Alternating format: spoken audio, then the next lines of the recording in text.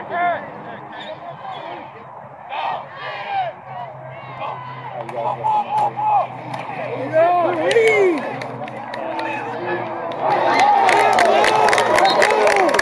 run by Carter, first down for the Ravens, moving the ball deep in Raider territory.